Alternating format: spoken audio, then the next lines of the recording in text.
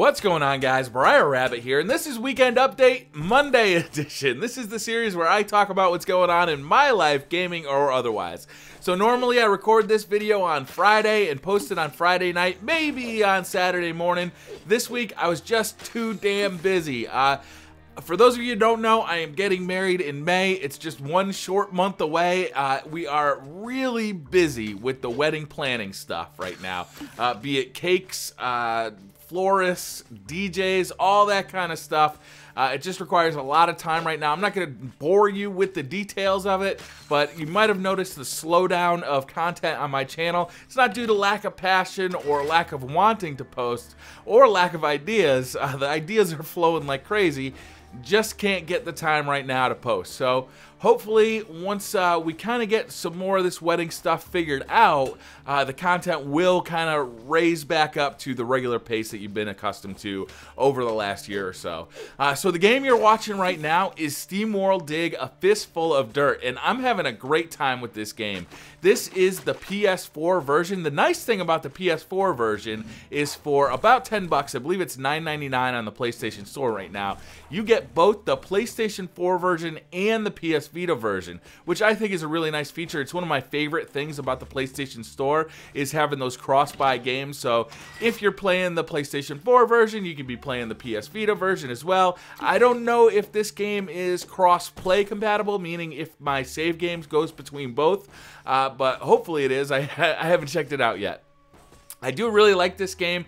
As you can see from the gameplay, it's sort of a combination between uh, exploration mining game and like a Castlevania-ish game, uh, and I really like it. I have always been a big fan of those kind of Metroidvania type games, uh, kind of with the exploring and the jumping around and the combat. And in this game, you start off, you don't really know what's going on. The story is kind of uncovered as you dig deeper into the uh, world, literally. Uh, and I like the story that is uncovered. It's fairly interesting and it's got a lot of charm, uh, which to me adds a lot of flavor to the game. So I'm really liking this game. If you're interested in it, it's available on the PlayStation Store for about $9.99. I also think it's available on the 3DS. It's definitely available on uh, PC, I think on Steam. Uh, it might even have a Wii version. It's kind of one of those games that's been around for a while. It's kind of on a lot of platforms. Uh, but I'm really having fun with the PlayStation 4 version. I cannot speak to the other versions of the game. So today is Monday, and last night was Sunday, and we recorded the uh, 16th episode of the Beastly Thought Show. And I can't believe that we're already at episode 16. That show, to me, has become one of my favorite parts of the week. Uh, we had Not Too Nerdy on, we had COD Player on, we had 9 to 5 Gamer on, and of course we had the Beastly Gamer on, uh, and it was an absolute blast. I think that that show as everybody who's involved in it kind of gets more and more comfortable, just keeps getting better because instead of having like a couple of guys who kind of remain silent throughout the whole show, everybody's talking, everybody's contributing, and everybody's voice and opinion gets heard and it kind of melds into a conversation. Sometimes a bit of an argument, sometimes we're all in agreement, but what we always have is a conversation that I think really not only benefits my understanding of games in general, but also kind of helps me see other points of view. And I am really enjoying that show. And I think it's going to get better and better. So definitely check that out if you haven't seen it already. And definitely check out the channels of Not Too Nerdy, 9 to 5 Gamers, and uh, COD Made Player, Beastly Gamer, everybody who's always involved in that show.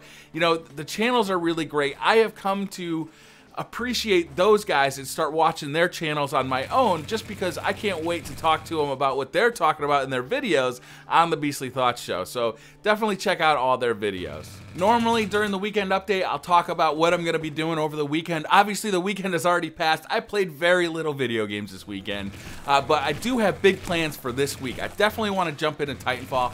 I'm really on the edge of picking up the Xbox 360 version of Titanfall. Now, I joked a little bit on the Beastly Thoughts show about, you know, being able to just jump into 360 version and just pwn everybody because, you know, they just got the game and I've had it for a month. But what it really is, is I'm really curious about what the quality of that game is going to be. So I'm really interested in picking it up. So let me know down in the comments if you guys are interested in seeing the Xbox 360 version of that game on this channel. I'll really be interested to know what your opinion is. I'm also planning on playing a little Thief this afternoon. I'm actually really excited about that. So I've also talked about how that game kind of got boring to me, but I kind of reached a place in that game that I'm really excited about. I'm toward the end. I'm interested to see what's going to happen in the story, and kind of I've got all the play mechanics worked out, and the the character Garrett, like the main character in that game, uh, to me, he has a lot of these kind of abilities that have made that game fun.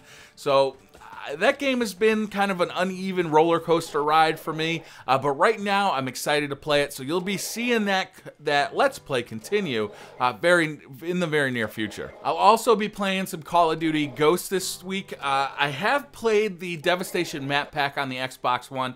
My initial thoughts of it, I shared already in a video. I wasn't super impressed with it. I actually prefer the PlayStation 4 version of that game just because of the PlayStation 4 controller. I've never really gotten comfortable with the Xbox One controller in Call of Duty, but for some reason in Titanfall I find it just fine. Uh, so I'm not really sure what the difference is between Titanfall and Call of Duty using the Xbox One controller.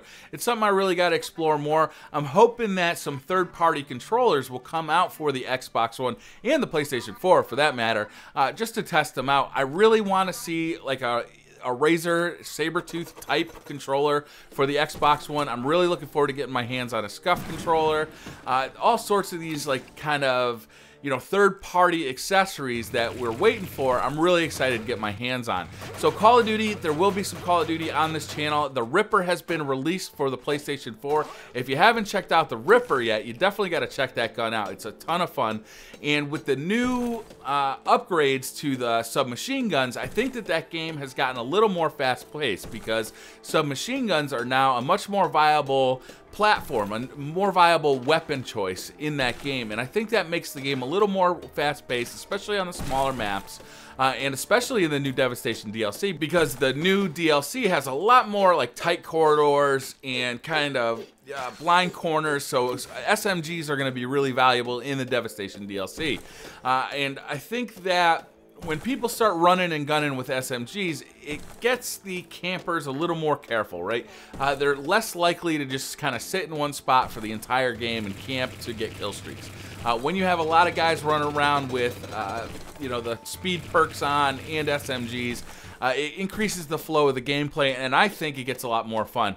Uh, similar to the Black Ops 2 style of game. So that's going to do it for this video. Thank you very much for watching. Don't forget to hit that like button if you like this video, and I'll see you guys next time. Bye!